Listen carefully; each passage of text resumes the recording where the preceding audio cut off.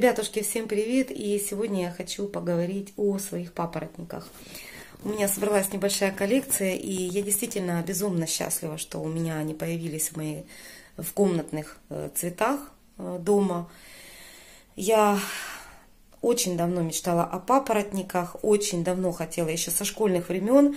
Э, единственное, что действительно папоротники бывают разные, есть листопадные, которых, от которых очень много мусора, да, и вот эти ассоциации, когда приходит время уборки, и нам нужно было поливать в классе цветы.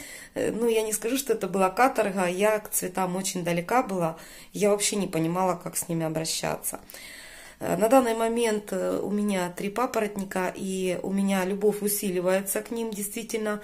Э, ну, естественно, с возрастом приходит и опыт, и взгляды меняются, естественно, и появляется в комнатных условиях у нас в квартире все чаще и чаще, больше и больше всяких разнообразных растений. А одно из них это папоротники. Сейчас э, у меня попутно э, развиваются разные виды растений и также это кактусы, также это суккуленты, их очень много, намного больше, чем моих орхидей, действительно. И в последнее время э, все больше и больше у меня разрастается коллекция того или иного вида растения. Орхидея, конечно, это хорошо, там тоже есть, это огромнейший мир, разнообразных всяких видов орхидей. Также и в кактусах, и в суккулентах тоже очень огромнейший мир, который познать э, это на всю оставшуюся жизнь, как говорится. Э, собственно говоря, так как и папоротники, буквально вот где-то, может быть, с год я подключилась к одной группе папоротников, и там очень тоже большой мир этих папоротников. Я просто была изумлена тем, что их настолько много видов, учитывая ассоциирующие свои воспоминания со школой, я помню только один длинный папоротник, который висячий, вечно сыпучий и вечно непонятного происхождения. И вот, естественно, нефролепис. Они тоже присутствовали в школе, да, в классах. Это самый распространенный вид, который самый простой и э, легко с ним э, справляться. То очень э, интересно я наблюдала, что в классе они нормально себя чувствовали. Несмотря там жара, засуха, пересушка, на солнце в тени стоял. То есть мне казалось, что это растение неубиваемое. Э, живучее и очень терпеливое к тем условиям, которые мы им предоставляем. Но в последнее время я э, немножко разобралась в этих растениях и действительно поняла, что они тоже любят повышенную влажность, опрыскивание, замечательным образом переживают э, тень, даже темноту. Я помню, в прошлом году, ровно пол, полгода назад, или может быть даже больше, я смотрела э, семью Яникеевых, э, Павел и его замечательная жена, где предоставляла папоротники, у нее замечательная была коллекция, и показывала, в каком состоянии они жили, росли и как развивались. Очень замечательные видео, я если найду, обязательно в описании поставлю ссылочку, кому интересно. И вот только с этого момента я начала более-менее разбираться в папоротниках. Два года назад ко мне прислала подруга э, нефролепис. Вот этот замечательный вид растения, такой вот э, мелколистный, такой вот весь очень интересные лепесточки. Он чем-то иногда петрушку мне напоминает, но петрушку больше напоминает вот эти заячьи лапки. Но вот этот вот вообще изумительный. Хоть и самый простой вид, но он очень замечательный, если правильно к нему подойти, правильно посадить и правильно за ним ухаживать. Собственно говоря, когда он ко мне приехал, это было, еще раз повторюсь, если я уже говорила об этом, он приехал у меня в ноябре, э, поздней осенью, там уже приближались заморозки, и в посылке он подмерз. И тогда я очень быстро среагировала. Хорошо, что мы с Наташенькой э, переписывались, и сразу в этот же день мы решали вопрос, как с ним поступить, во что сажать. Я много информации читала, но знаете, как э, когда читаешь информацию и когда ты немножечко паникуешь, ты сам тоже стрессуешь, чтобы растение спасти. Действительно, на тот момент я очень быстро среагировала, у меня кактусная была земля, По-моему, я тут перемешку сделала. Вот точно уже, честно, не помню, потому что это было все за кадром. И на ролик я не снимала. Я вообще не думала, что э, как таковой папоротниками займусь вплотную. Ну, сейчас я не скажу, что я вплотную занимаюсь, но э, у меня коллекция, коллекция потихонечку начинает больше и больше разрастаться. В планах у меня еще есть олени рога, красивый папоротник, который растет на деревьях, но тут тоже надо все изучать, правильно подходить к этой информации и, естественно, а, понимать, могу ли я предоставить ему такие условия, которые требуются по рекомендации в описании самого растения, а, пока я тренируюсь на кошках, знаете, как говорят. И вот к этому моменту, два года назад, я его быстренько посадила. Во-первых, широкий горшок, невысокий, как плоский, да, вот эта плошечка – на тот момент корневая была а, хорошая, и несколько кустиков, к сожалению, на данный момент я уже увидела, что пострадали. Поддончик, может быть, надо было шире сделать, но он, в принципе, там катается, видите, и есть еще куда наливать водичку, допустим, и содержать его во влажной среде.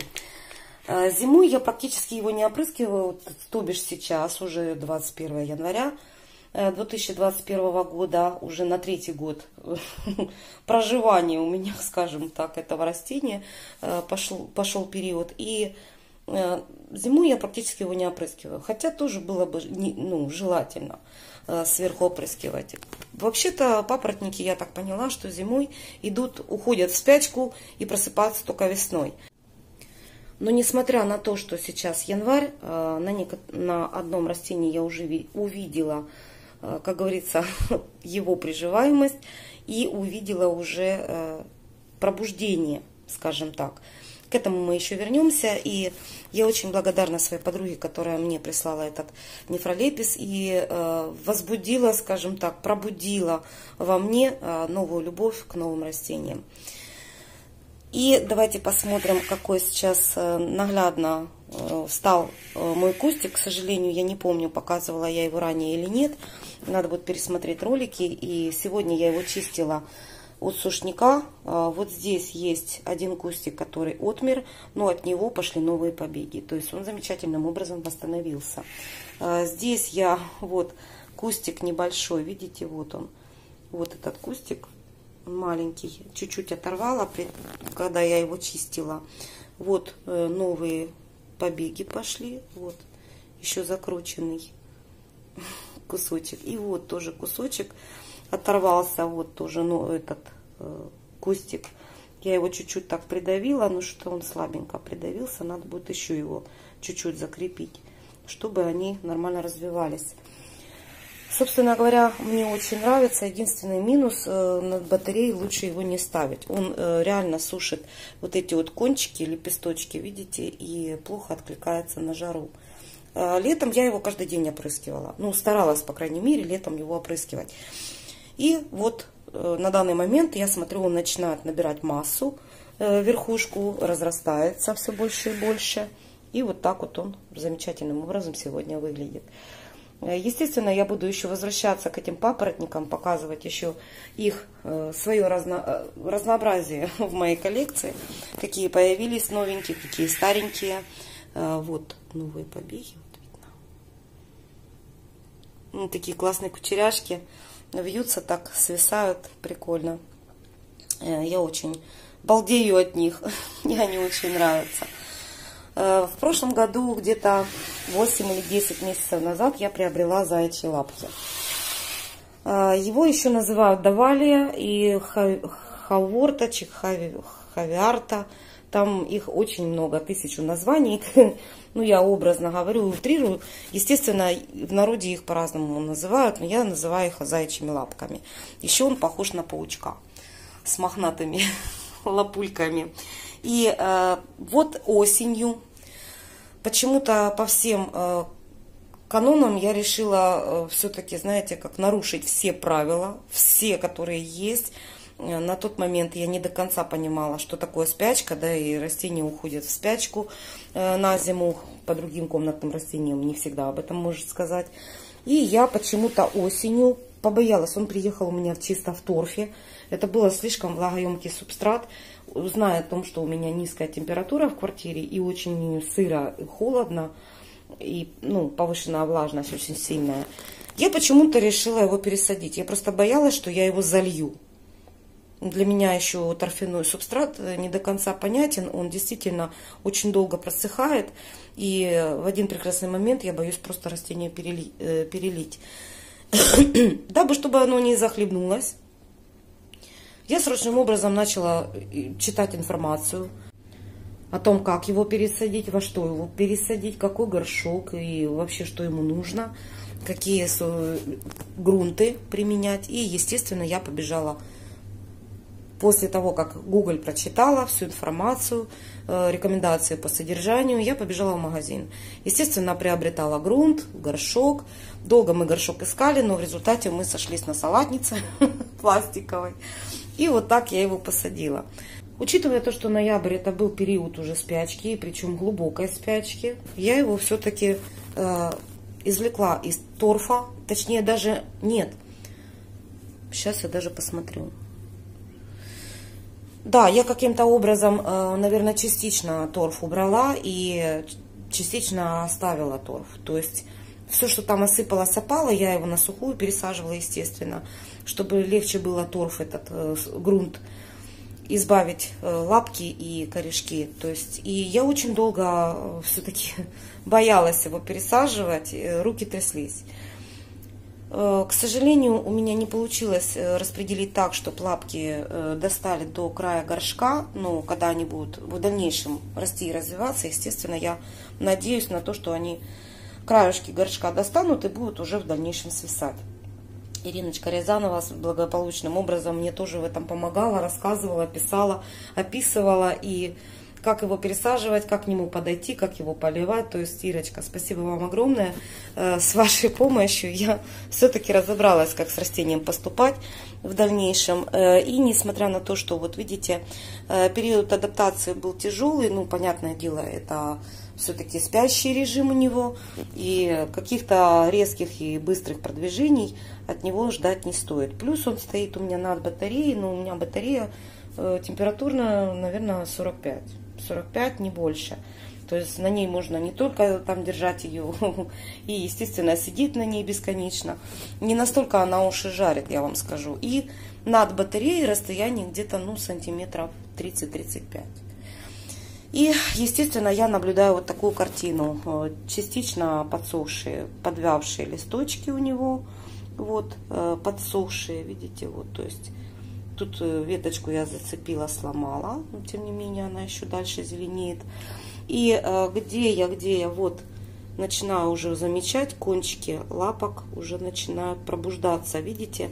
Несмотря на то, что январь месяц, вот он все-таки уже начинает пробуждать э, новые побеги, новые веточки и естественным образом развиваться.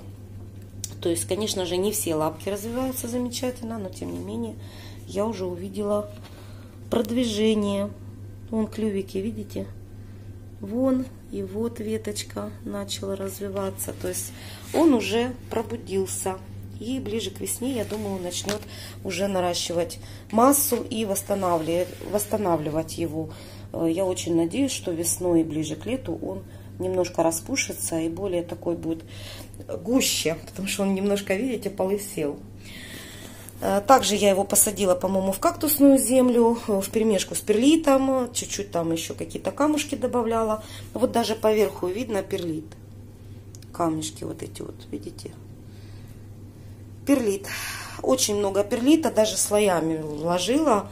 Вот, и э, меня это действительно очень спасло. Точнее, растение, которое сейчас посажено. Вот тут даже перлит есть еще местами. Вот. Сейчас немножко подсохла земля местами и плохо видно, но тем не менее все равно видно.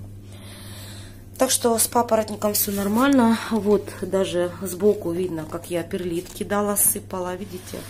На дне очень хороший дренаж. Вот даже слоями видно, что я слоями сыпала, его не щадила.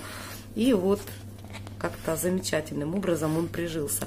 Это я сейчас его полила, и уже видно, как он себя сидит и э, проявляет в развитии. Вот даже видно. Там полосой, тут полосой. То есть я беспощадно сыпала этот перлит, э, дабы боялась, что вдруг что-то неправильно сделаю. Ну, я смотрю, что коль уже начались э, новые клювики красивые, зелененькие, значит, он пошел в рост. И вот этот вот я приобрела тоже где-то уже октябрь-ноябрь, не помню. Буквально недавно я его приобрела. То есть у меня по возрасту разные растения, то есть этому 2 года уже, этому всего лишь 8-10 месяцев, и осенью я его пересадила, и вот буквально осенью я приобрела кучерявый нефролепис. И меня он поразил тем, что э, женщина мне писала о том, что он э, кучерявенький и миниатюрный такой, знаете, вот компактный. Сильно большой кроной, пышной он не будет ни расти, ни развиваться. И вот уже буквально недавно я обнаружила новых два росточка. Две веточки новых, вот они.